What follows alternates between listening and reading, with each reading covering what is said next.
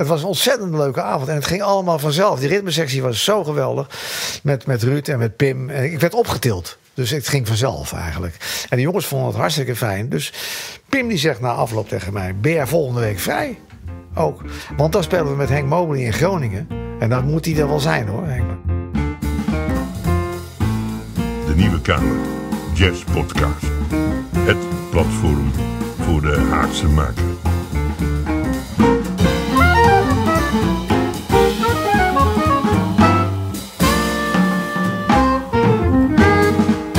Je luistert naar een aflevering van Podium de Nieuwe Kamer. Een gloednieuwe podcast over jazz. Met gesprekken en swingende live optredens van Haagse jazzmuzici. Mijn naam is Ben van der Dungen. En vandaag praat ik met een man die eigenlijk voor een groot gedeelte de Nederlandse jazzgeschiedenis vertegenwoordigt. Het is een levende legende. Het is een, van nature een optimist, een superswinger. Eh, iemand met een ongelooflijk goed geheugen en een ongebreidelde energie. Ik heb het over Erik Ineke.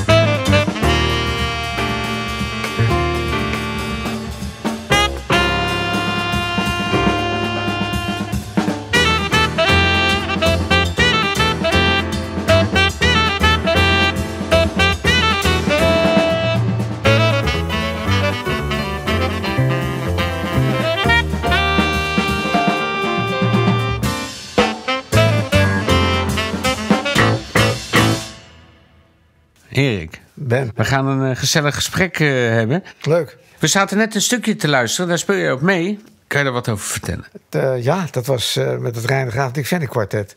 Ja, dat was een, een kwartet, daar heb ik 18 jaar bij gezeten eigenlijk. En de eerste drummer was toen Leo, Leo de Ruiter. Nee, ja, Leo de Ruiter. En toen Pierre Coubois. En die heeft er kort bij gezeten. En toen kwam ik erbij in 1971 kwam ik erbij. Tot het eind. Tot we ermee, tot we stopten.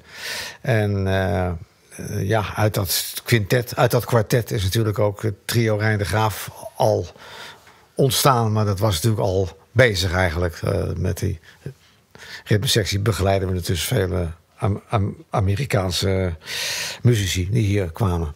Maar goed, dat is weer even een, eh, een ander verhaal. Dat, dit kwartet, dat was echt een van de eerste kwartetten eigenlijk in Nederland... die de modale muziek van Coltrane eigenlijk vertegenwoordigde. Ja. Dus het kwartet is eigenlijk ontstaan uit... eh, eerst speelden ze gewoon eh, hardbop eigenlijk.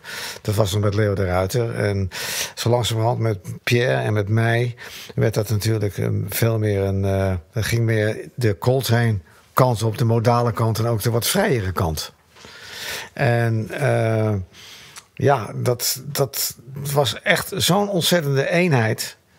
Als, eh, toen ik erbij kwam zat Henk Haverhoek nog bij voor contrabas. Maar sinds 19, 1977 kwam Koos Riersen erbij.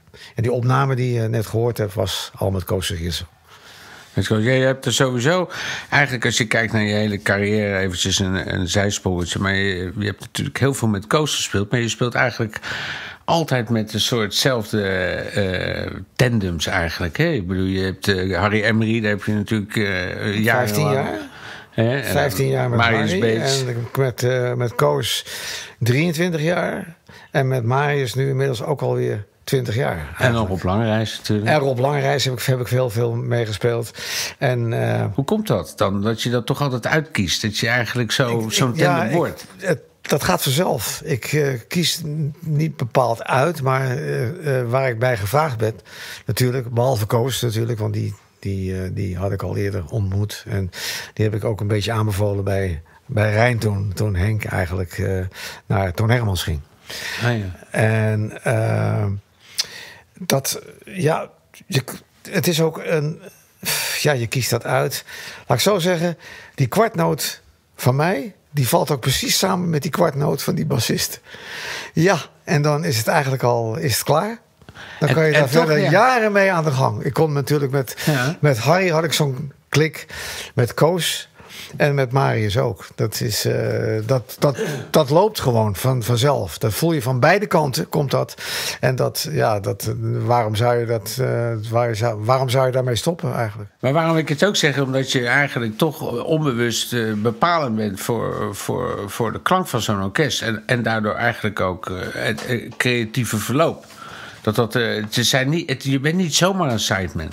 Nee, dat klopt inderdaad. Je hebt natuurlijk een, een eh, eh, zeer belangrijke interactieve rol. Eigenlijk. Je, hebt, je, doet, je doet mee aan de interactie wat in zo'n band is. Ja. Zo is het zoals in, in, in jullie band met Jarmo. Was het natuurlijk een gigantische interactie. Ja. En dat deden Bas en Drums, die deden daar een flinke duit in het zakje. En Ja. dat was het eigenlijk ook met Rijn de Graaf Dick Vennik kwartet. Eh, met eh Koos en met mij en daarvoor eerst nog met Henk.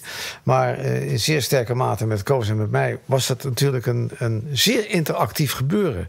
En dat was later met Marius, met Rijn natuurlijk ook precies hetzelfde. Maar vind je dat de ultimate sideman? Want je hebt een boek geschreven, de Ultimate Sideman. Dat is het eh, Sideman, dat is een hartstikke leuk boek. Dat eh, zit natuurlijk vol met anekdotes. Ja, ik had Maar- er nog veel meer in willen, willen schrijven, maar ik, had, ik zat aan een deadline. Dus dat, dat, op een gegeven moment moest ik daarmee ophouden. Maar ik had nog veel meer willen doen, maar dat, dat ging niet meer. Maar terug in, die, in- het muzikale context. Vind je, wat vind je dat een ultimate sideman? Vind je dat je toch gewoon een soort onderdeel moet zijn van, van eh, zeg maar de richting, de artistieke richting? Of is de ultieme sideman zoiets als van ik speel eigenlijk alles perfect wat jij wil? Nee, dat is het niet. Ik vind dat ik gewoon onderdeel wil zijn. Ja. onderdeel zijn van het muziek. Het komt eigenlijk misschien wel voort zoals ik zelf begonnen ben. Want ik, ik, op een gegeven moment had ik door dat je ding, ding, ding, ding, gewoon gezellig op een stoel met je hand mee kan spelen. En ik denk, ah, dat swingt zeg. En je hield natuurlijk al, ik hield van, al van kind, kinds af aan al van, van jazzmuziek. Muziek, gewoon dat, dat, dat, dat, Ja. dat, dat rhythm en gewoon de, de muziek. Je had radio vroeger en dan hoorde je eigenlijk alleen maar swingmuziek op. Wat je nou allemaal hoort, dat kunnen we het beter niet over hebben. Maar wat je, wat je eh, geeft niks. Maar wat je toen hoorde, dat was eigenlijk swing. Daar groeide ik mee, mee op. Nou, je had natuurlijk ook de popmuziek kunnen kiezen, maar dat heb je gelukkig niet gedaan. Nee, maar zelfs de popmuziek vroeger, zoals van eh, Elvis Presley en zo en Bill Haley, dat dat had toch een soort swing rhythm ergens. Ja, ja, ja. Dat werd later werd het veel poppier natuurlijk, maar dat, dat toch was het gewoon een shuffle, weet je wel? Ja, ja, ja. Hè, Rock around the clock is gewoon een shuffle hoor, verder niks. Nou, we gaan een aantal stukken live spelen. Met Ja. wie, wie ga je dat doen? Dat ga ik doen met een eh, gedeelte van mijn quintet. En dat is eh Sjoerd Dijkhuizen, Kop van Bavel en Marius Beets. En dan proberen we in de afgeslankte versies te spelen van, de, van onze laatste plaat, onze eh, Charlie Parker. eh, What kind of bird is this? What kind of, what kind of bird is this? Dus we gaan nu Birdie Num Num Ja. Birdie Num Num spelen we. En dat is een, eh, een, eh, een, een compositie van Marius Beets. Maar het zijn de akkoorden van Confirmation van Charlie Parker.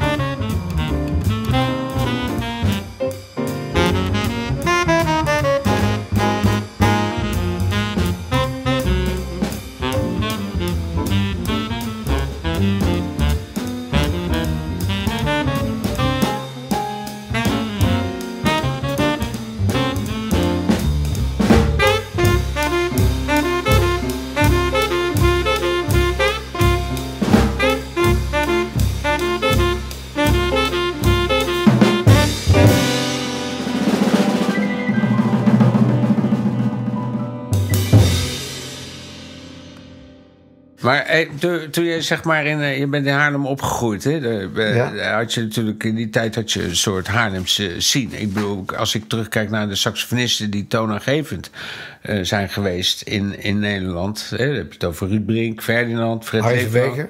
Harry Verbeke, niet te vergeten. Nee, Diamond, Diamond 5. Hoe, eh, je viel eigenlijk met je neus in, de boter daar. Ja, ik had, het- Haarlem had toen de tijd, eh, zeker eh, eind jaren 50 en zeker jaren 60, een hele goede jazz scene eigenlijk. Want daar, dat kwam eigenlijk door de Haarlemse Jazzclub. Wat toen zo'n een van de leukste jazzclubs toen de tijd in de jaren 60.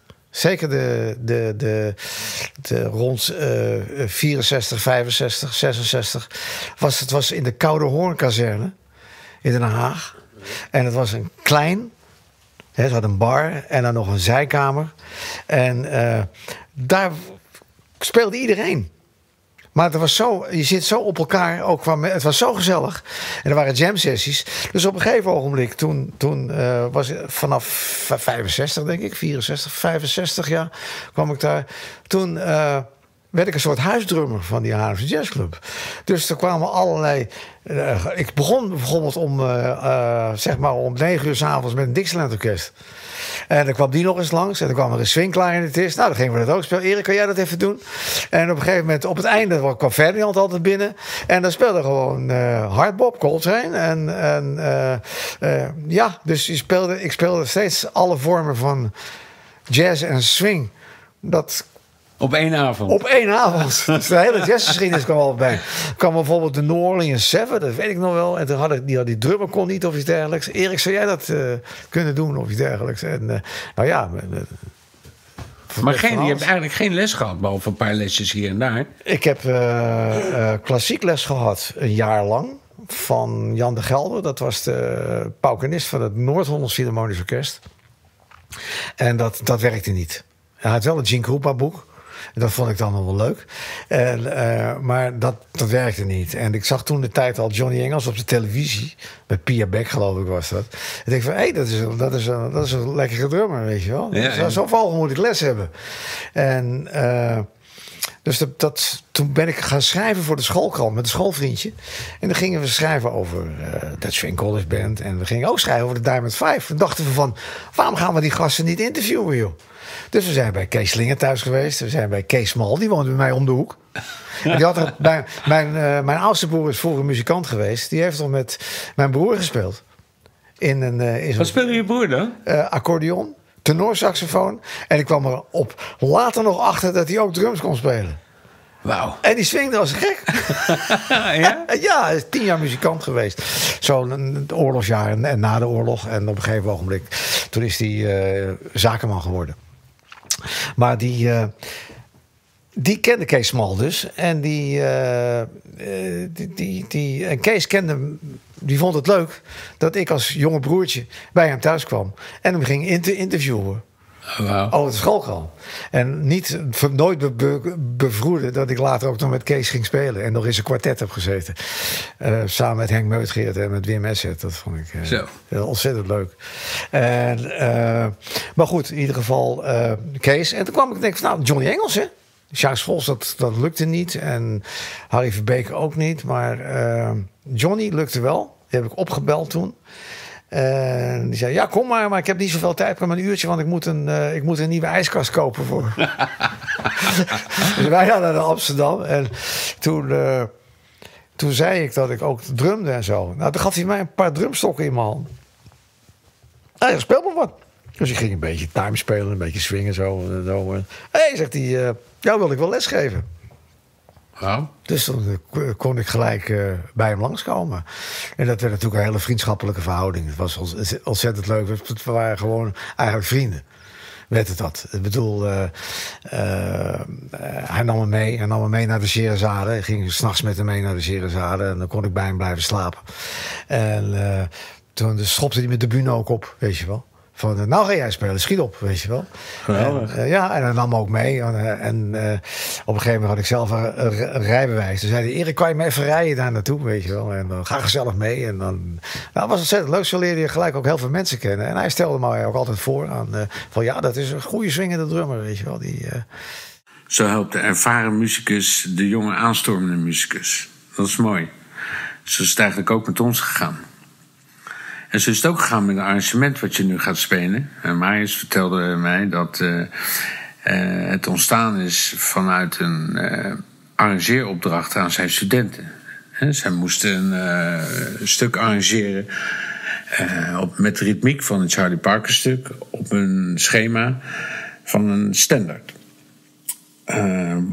Jullie noemen dat What Kind of Bird Is This? Ja, What Kind of Bird Is This? Dat is natuurlijk een heel arrangement voor het quintet. Maar we proberen de het hier in de afgeslankte vorm ook te, te spelen. Dat is het ritme van Moose the Mooch van Charlie Parker. Op de akkoorden van What Is Thing Called Love van Cole Porter.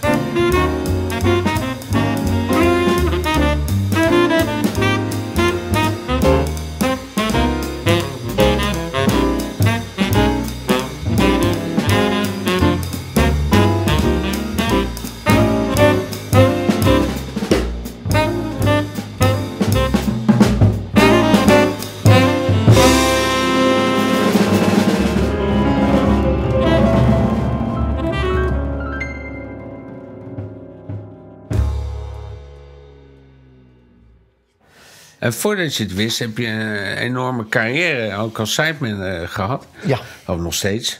Ik zat op eventjes zo die plaatjes te tellen. Althans, wat ik dan die lijst kon, eh, kon vinden. Dat staat allemaal, eh, kan je vinden op internet. Dat telde ik in de gauwigheid. Wikipedia volgens mij staat het. 114 eh, opnames, hè? CD's. Ja, het, het is nog ineens alles hoor. Want het, het loopt, ik denk dat het zo tegen de. Ik moet haast wel tegen de 150 aanlopen. Maar ook met echt ongelooflijk veel grootheden. Zoals Henk Mobley. Daar heb ik mee gespeeld, niet mee opgenomen. Maar dat was toen die eh, tournee in. eh, eh, in 68, ja. Toen, wat was zo, dat was... eh Henk Boom, die kwam hier voor een week, geloof ik. En die was hierheen gehaald door Wim-Johan Kuiper. Dat was toen degene die dat organiseerde. En die managede wel, wel meer eh, Am- Am- Amerikanen die hier kwamen... en die koppelde die dan aan de Nederlandse ritmesectie. In dit geval was het de trio Pim Jacobs. En Pim die had dan voor dat geval altijd een... Een drummer moest er natuurlijk altijd bij. Dat was een, in de meeste gevallen Han, Han ben ik. En eh, soms Johnny Engels. En, eh, maar ik geloof dat tijdens die tournee heeft Han heeft de eerste dingen wel gedaan. En, en, maar die, en toen heeft geloof Pierre Coubois ook nog een keer meegedaan. En op een gegeven ogenblik, toen vast voor een concert in Delft... toen eh, zou Philly Joe Jones zo namelijk komen. Maar ja, die is helemaal nooit komen opdagen. En eh, zo is het eigenlijk gegaan, ja. Het zou Hank Mobley en Philly Joe Jones zijn. Maar Philly Joe Jones kwam nooit. Die, kon, die zat in Engeland, geloof ik. Maar dat, ik geloof dat het allemaal niet lukt. Ik weet niet hoe dat zat. Maar in ieder geval was voor eh, dat concert in Delft. Toen kon Han niet en waarschijnlijk Pierre ook niet. En eh, Johnny misschien ook niet. Ik weet niet wie ze verder, eh, hoe dat verder zat. Maar in ieder geval werd eh, Ferdinand gebeld door Wim-Johan Kuiper in Haarlem. Van Ferdinand, eh, ik heb een drummer. En weet jij toevallig misschien iemand die een goede... Hij zegt, Ferdinand, nou, waarom bel je Erik niet op? Geef die eens een kans. Vond ik heel leuk van hem. En inderdaad, Wim-Johan Kuiper belt mij op. Hij zegt, kan jij eh, morgenavond, zeg maar... eh, ik werkte toen nog even tijdelijk, tijdig om wat geld te verdienen bij mijn broer in de zaak. En eh, de telefoon ging. Wim-Johan Kuiper. Erik, kun jij dan morgenavond met, eh, kun je dan met Henk Mobley spelen? En Pim Jacobs en Ruud en Wim Overgouw. In Delft, in Eland. Het werd georganiseerd door Eddie Detemeijer. Zo, Eddie. Eddie, ja. Doet hij toch nog iets goeds? Ja. nou, en die doet nog wel weer meer goed hoor. Ja, ik maak een Eh, grapje. hij, heeft ook een heel mooi, hij heeft ook een heel mooi jazzblad nu. En eh, op, eh, nou, dat vond ik natuurlijk fantastisch. Dus, nou, maar ik had geen auto, niks. Toen zei mijn broer, die zei van, eh, ik ga een auto voor je huren. Dat komt allemaal goed. Ik ga een chauffeur en die wist wel een garage en die man die reed mij. Ik reed naar Delft. Wat gebeurde er onder, onderweg? De, de olie raakte op in die auto. Ik stek die man en zeg, dat kan toch allemaal niet? Ik moet die spelen straks, joh. Wat is dat weet je wel? En er was een boerderij. Zegt hij, nou, dan gaan we even naar die boerderij. Dus die loopt naar die boerderij. Of we konden bellen naar een, eh, iets, weet je wel. Ik zeg, ik bel wel een taxi. Je zoekt het maar uit met die auto. ik bel een taxi en ik moet naar Delft. Dus... eh, ik heb daar zo'n zo'n muurtelefoon bij zo'n boer, bij zo'n boer. Heb ik een taxi gebeld. Die man had een nummer van een taxibedrijf. Heb ik een taxi gebeld. Die heeft mij naar Delft gebracht. En toen kwam ik daar. En eh, nou, Pim waren ontzettend aardig, die gasten. Maar er was geen Henk Mobley, hè? Henk Mobley, die, eh, die lag eh, ziek in zijn hotelkamer. Ja, ziek, die, had gewoon, die moest gewoon drugs hebben. En, en dat lukte me gewoon niet om hem die bühne op te, op te krijgen. Toen hebben ze Piet Noordijk gebeld. En dat werd een hele leuke avond. Ferdinand is nog langsgekomen. Dan kon ik weer mee terug naar huis rijden. Dat was een ontzettende mazzel. Maar Ferdinand die kwam nog langs. En die, eh, die heeft ook nog meegespeeld. Het was een ontzettend leuke avond. En het ging allemaal vanzelf. Die ritmesectie was zo geweldig. Met, met Ruud en met Pim. En ik werd opgetild. Dus het ging vanzelf eigenlijk. En de jongens vonden het hartstikke fijn. Dus Pim die zegt na afloop tegen mij... Ben jij volgende week vrij? Ook. Want dan spelen we met Henk Mobley in Groningen. En dat moet hij er wel zijn hoor, Henk, Henk Mobley. En dat klopte ook inderdaad.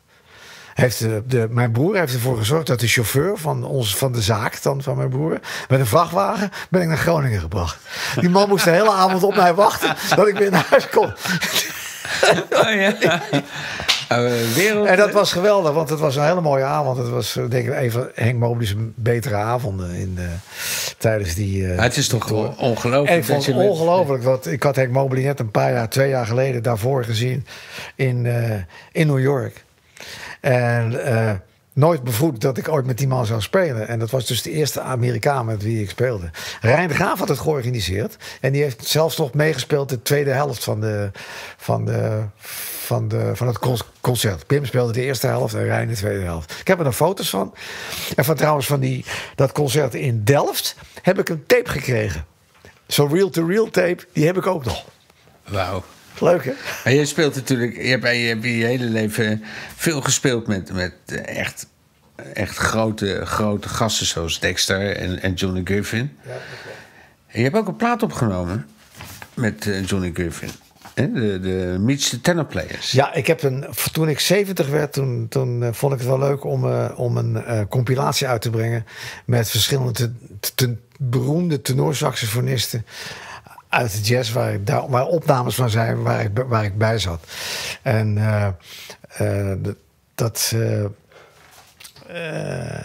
dat vond ik wel een leuk idee eigenlijk, om dat te gaan doen. Zoiets van eh, Erik Hieneke meets the tenor players of iets dergelijks. Dat er iets speciaals was. Ik vond dat er iets, daar moest dan iets speciaals komen. Als er dan een avond voor me werd georganiseerd in het Bimhuis, dan moet je ook met wat leuks komen. Ja. Dus toen heb ik, dat, heb ik die plaat. Marijn heeft me daar heel bij geholpen.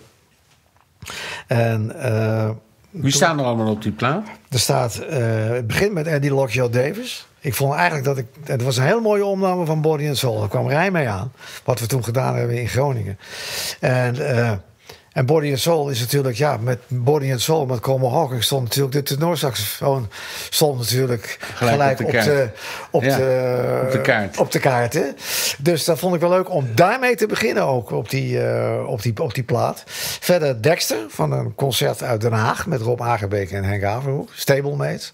En ook met Griffin in Leeuwarden met Koos en met Rijn. En eh, dat, eh, Welk stuk? dat stuk We, het bekende ritmeschema, Ja. Oké, we gaan het draaien. dat staat erop.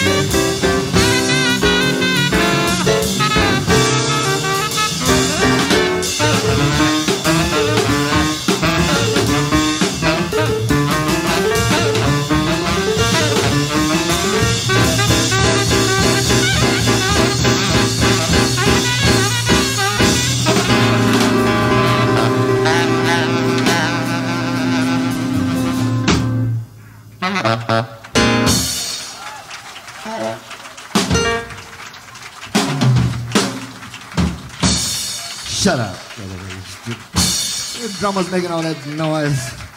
Eric drum. Bij dat meespelen op die stoel vroeger, hè, zo op die stoelleuning, toen ik dat door had, toen, toen voelde ik me dus eigenlijk een soort onderdeel van de muziek.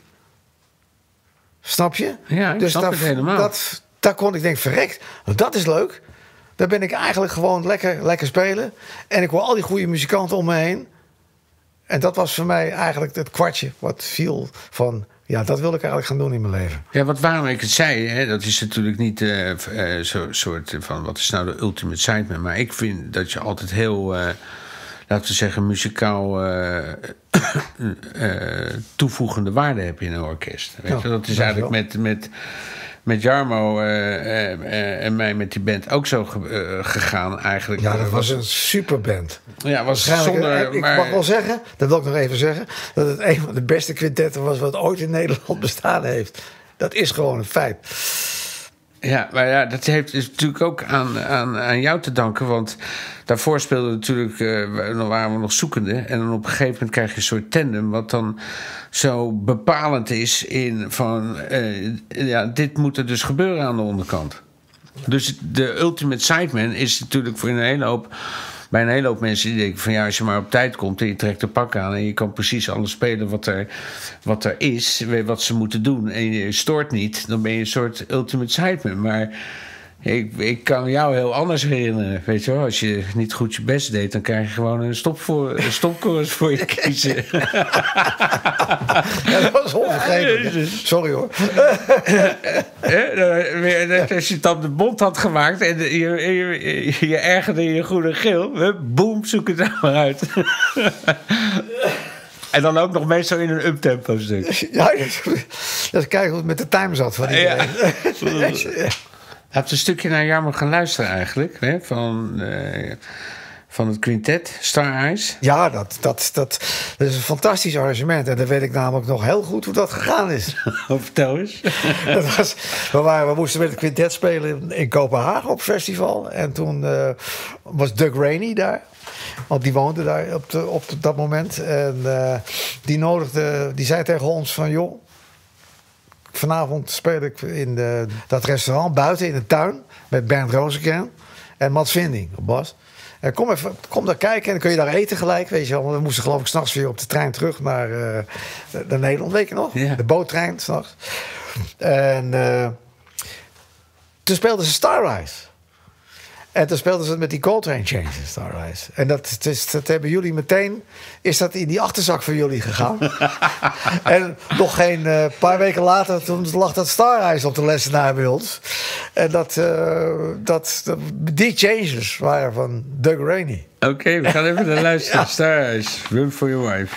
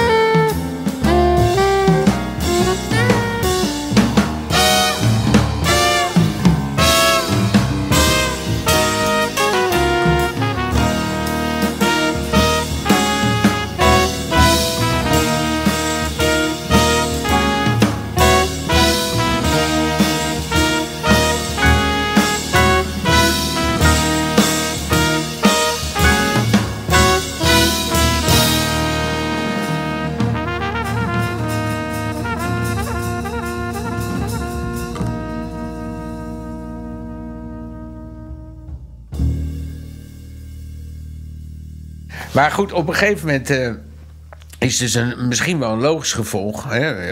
Je gaat in, wanneer is dat? 2006 begin je je eigen. Ja, laat eigenlijk. Ja, dat is laat in je carrière. Maar misschien eigenlijk wel goed. Want dan had je eigenlijk alle shit achter je. En dan kon je eens met, met, met een. Dan heb je een soort zekerheid voor jezelf gecreëerd. Voordat je als mens ook gewoon wat. eh, dat je een zekere rust hebt gekregen.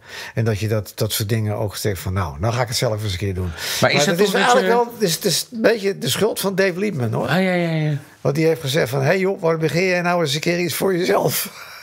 Maar het was het de nou- tijd dat je dat gaat doen, zei hij tegen me. En waar was het een muzikale noodzakelijkheid? Dat je zegt van nou, ik, ik speel eigenlijk nooit de muziek die ik wil. Of had je gewoon zin om, om, om zelf, zelf de aanjager te zijn? Of wat, wat is de motivatie Nee, daarvoor? Ja, ik... ik, ik eh, nood, de, de noodzaak. Ik geloof dat ik... dat eigenlijk altijd wel leuks had zou... wel leuk eh, zou vinden... om eens een keer iets voor mezelf te doen. En, en eigenlijk kwam dat... kwam op dat... Ja...